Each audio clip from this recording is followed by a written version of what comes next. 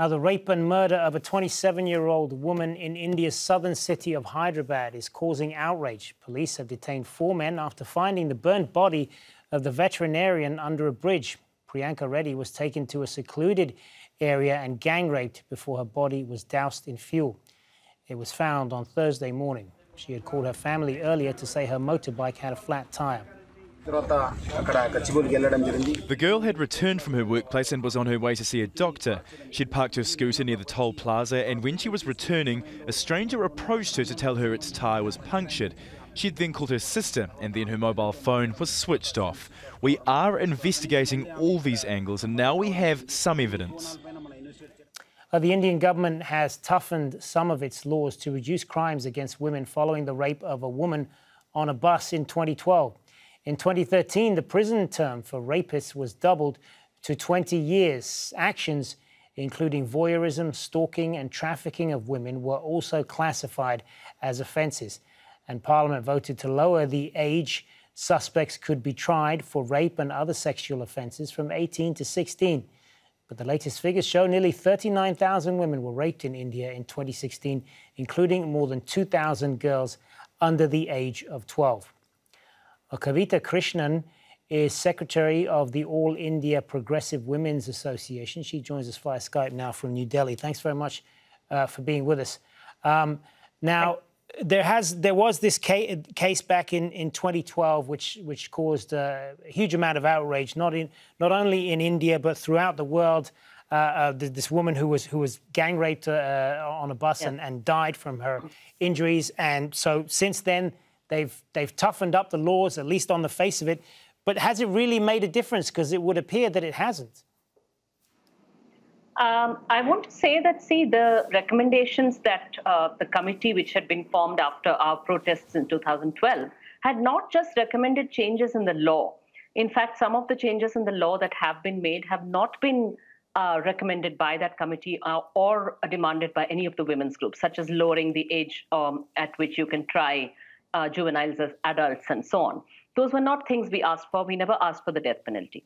The actual thing is that um, what the government should have done, those things which we were demanding, which is to make uh, the streets uh, safer for women, more street lights, more, uh, you know, a more women-friendly atmosphere where women are, do not feel judged for being out in public spaces, and where you have a more gender-sensitive response from the police and the judiciary this, unfortunately, has not followed. And uh, I would hold um, India's current government uh, squarely responsible for that, in part, in very large measure. But also, I would say that uh, even institutions like the judiciary, just a, a, short while ago, you had a, a conviction for a rape which happened in uh, with a student in Delhi, and uh, it, the, the, the perpetrator was convicted.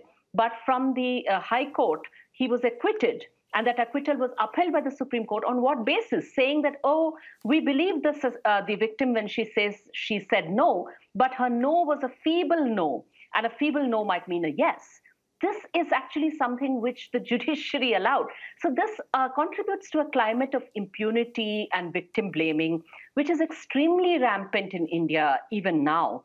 And um, I think uh, probably in other parts of the world. I mean, if you read uh, Chanel Miller's recent book, Know My Name, uh, I would say that what she goes through in the judicial system in the US and what uh, victims go through in the judicial system in India, they pretty much mirror each other. They're, it's, it, it is, it's as though the judiciary is interested in regulating women's sexuality and judging them rather than in you know, offering them justice. And so I think that all this contributes to a climate where uh, violence is becoming, um, you know, um, um, these incidents of violence keep happening. So how do you how do you change the culture there? Um, I mean, what you're talking about there is is you know what you said there this this this culture of impunity, this attitude uh, towards women that it's often their fault, uh, that sort of thing. I mean, you know, you can toughen up the laws, but it takes a lot longer to change the the whole culture around it, doesn't it? Yes, and I, I don't think it's a matter of culture only in India. When I said culture, I think I meant a culture of impunity and a culture of tolerance for um, violation of consent, which um, I'm seeing in a lot of other places in the world and in India.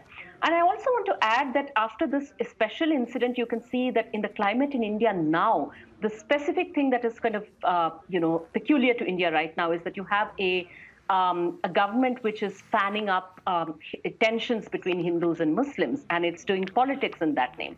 And so what happens is that such an incident happens, and a large part of the uh, response that is made by the uh, ruling uh, party and its supporters and so on on media, social media, is to try and say, oh, of the four men arrested for this, one of them is Muslim, and so Muslims are the problem, rather than saying patriarchy is the problem disrespect for consent is the problem. Um, the fact that our governments are not doing enough to make our streets well lit and safer and more friendly for women to be out in large numbers, that is the problem. The fact that uh, your police encourages victim blaming is that is the problem. You know, so there's an attempt to divert away from all of that. So if, if tougher laws are so if, if tougher laws are already in place, what else can be done then? Yeah, as I said, I mean, uh, some of the recommendations that we uh, asked for and which were made were that, uh, for instance, the streets should be more made uh, more friendly to women, namely, um, you know, more women uh, out on the streets means the street is safer. And so you should have more street lights, more uh, activity on the streets. Instead of encouraging women to go back inside and not be outside, it should be right the opposite. So you your urban planners should be planning to make streets. Public transport was a big demand after 2012 because that uh, young woman was raped and killed when uh, she couldn't get a taxi or an auto, and she uh, got into a bus which was driven by these people who killed her. And so we were demanding public transport, 24 into 7, safe public transport, which is publicly funded public transport. So you don't have to rely on private buses and so on. And that has simply not happened. The, you know, there is no push to invest any money in that by any government in India. Um, and the current government, especially, is cutting back on funding for all these things.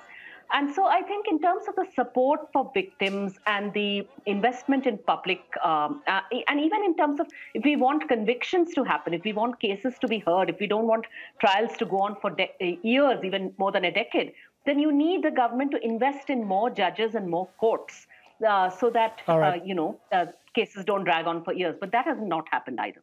Yeah. Good to get your uh, thoughts on this, Kavita Krishnan. Thanks very much.